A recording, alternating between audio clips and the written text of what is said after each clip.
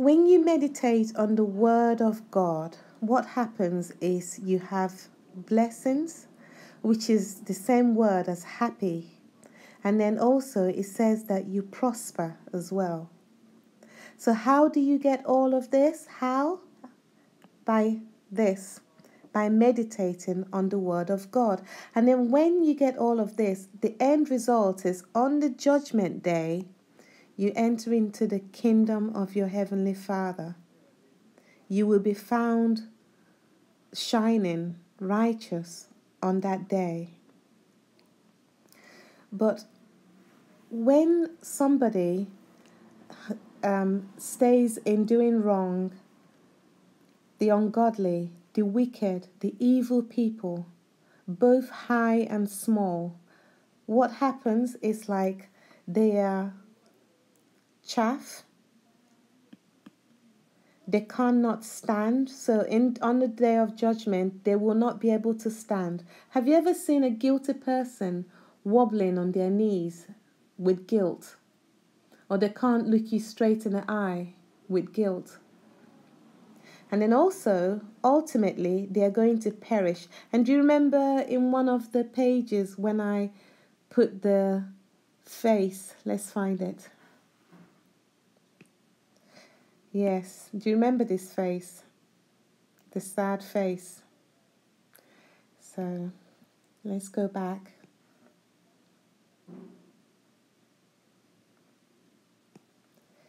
Here we are. So, doomsday, they perish. And how does this occur? This is how it occurs. It says here, the counsel of the ungodly. So, such a person entertains wickedness, they entertain bad advice, they entertain things that are not helpful to their soul. And the end of it, this is what happens when you or I, when we entertain things that are not helping us, things that are not causing us to be grounded. This is what happens. We're like, we're like this.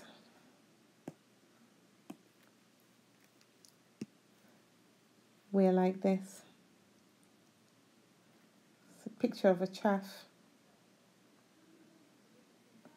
you know, blown by the wind to and fro, not grounded, not settled, following every new idea that comes along. That's what happens. That those who are godly, this is how it happens for them. So when you and I meditate on the word of the Lord, what happens is that we are like a tree planted. I'm just going to highlight that. We're like this a tree planted near streams of water, flourishing, and every season it bears its fruits.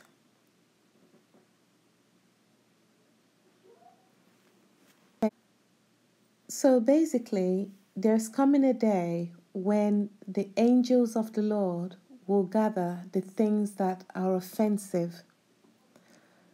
So this psalm actually tells you that um, it, it, it basically it answers the question of when people say, Where is God in bad things happening?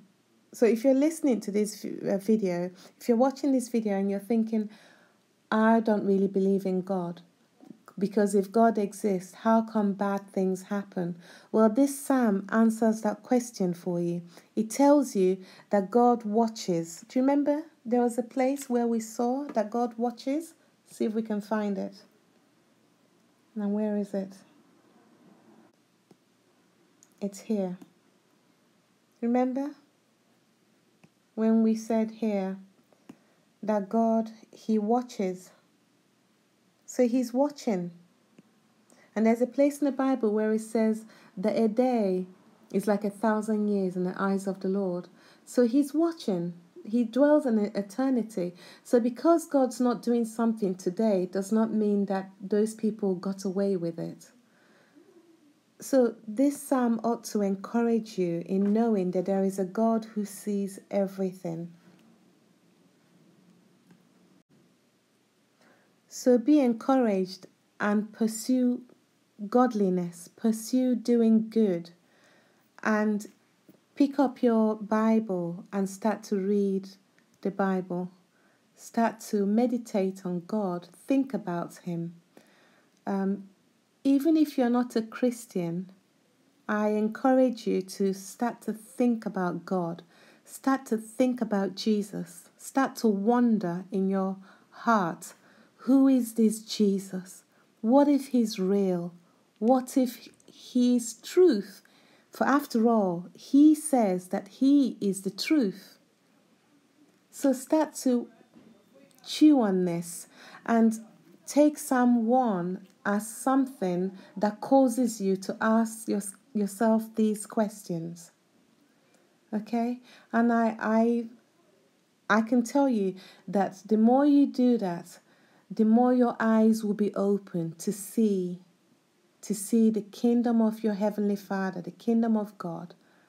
The more you ask questions, the more you will be able to see mind you you cannot en- you cannot enter it except by the blood of Jesus himself and in fact you can't even see it except by the holy spirit himself but the thing that you can do is you can exert your will you can have a willingness to think about it a willingness to pursue godliness a willingness to Ask questions. Look again. You looked before? Well, look again. Turn this direction and have another look.